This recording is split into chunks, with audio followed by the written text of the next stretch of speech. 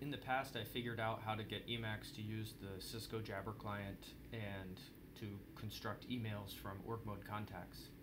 One limitation of that is everything that I have in my contacts. And sometimes I want to call somebody in the university and I'm not interested in looking up their, their uh, email or their phone number uh, in Google and then trying to construct it. It turns out we have a, a lightweight directory access protocol, LDAP, that we can use to query and find information. So the there's a command line utility, LDAP search, and it works kind of uh, like this. Uh, we pass dash x for the most basic, uh, simple authentication or, or lack of it. Dash LLL is an option that uh, controls the output. Here's the host, ldap.andrew.cmu.edu. This is a base uh, string that is used in the query. And here I'm going to query the field cn equals John Kitchin.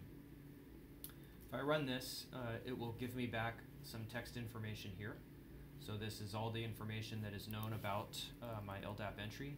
Some of it's private up here, but you can see here the information about me, including my uh, email address, and down here my phone number.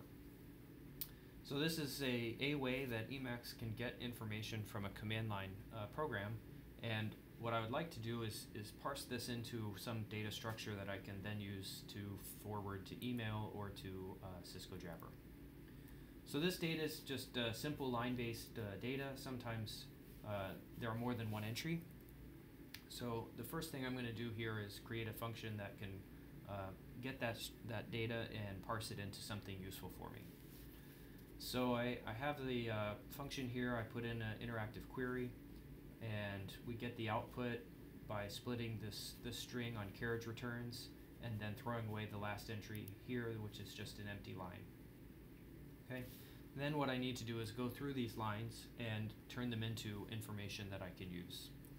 So I do this in two loops. First, I uh, have to clean up trailing lines and ignoring a couple of lines and, and particularly running uh, joining lines that run over. And once I do that, uh, this is just looping for each line and collecting the result in lines uh, here. That collection is happening here. Now I'll go through those lines. Every line should be uh, a key colon value. And so we know we start on a, an entry when we see a DN colon, and that makes uh, me add a new entry to the, to the results, which is just the line.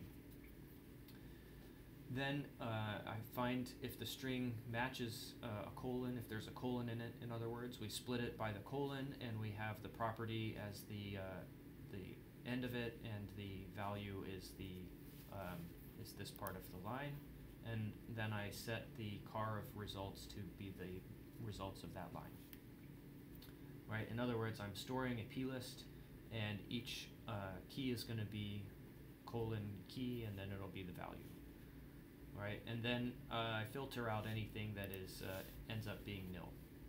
So it's kind of a confusing uh, code to, to look at, but let me show you how it how it actually works. So here, if I do this, uh, I get uh, a result that is a plist with the individual keys that were in here, and we can now have this as a Lisp data structure that we can use. So it's a list of entries. This one has one entry in it corresponding to the one result there would be more than one entry if, if I got multiple uh, matches. So now what I want to do is, is provide myself a Helm function because I like the way Helm lets me select from, from many things and it can give me different actions. So action I might want on here is to send an email to, to this person or to make a phone call to this person. Uh, but maybe there are some other uh, things I might like to copy their email to the clipboard so I can use it or insert it wherever I am. And Helm lets me have a menu that makes all of those things possible. So here's how we do uh, the Helm uh, function. So here we take a query string as well. So I'm going to, when I run this, it'll query me for something uh, that I want to search for. And then I create a Helm command.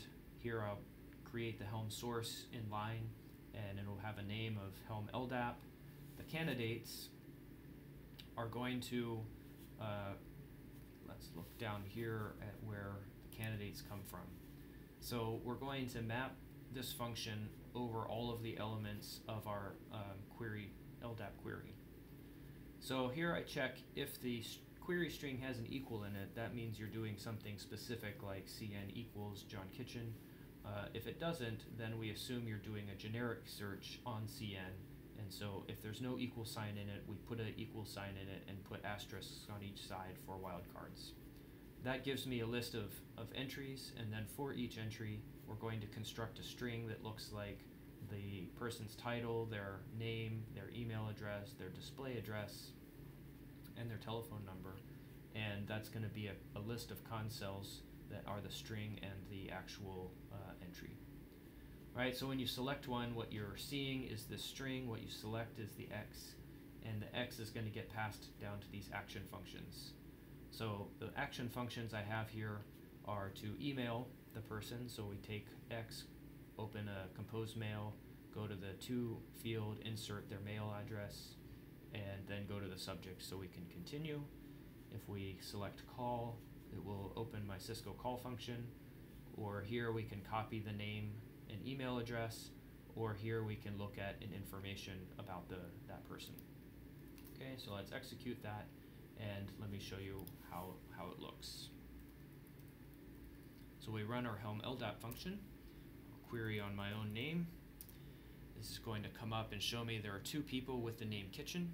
I can press tab on here and if I select email, then it opens up an email with, with that information in it.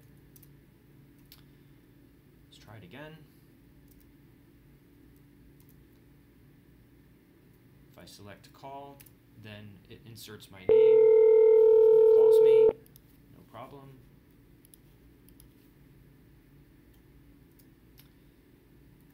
And one last. And here is all the information about me as uh, as this person. So that's uh, that's sort of it. Here is uh, just something convenient to do, and you can see all the information more conveniently than, than the code form, and we press Q to quit, and we're back. And the only other thing we can do is press F3, and then I can paste my name and email address. That's it. I think this will be pretty handy for searching for people within the university where I work, and you might find it interesting to think about how you can take output from commands and use something like Helm for selecting uh, candidates and, and actions. That's it for this one.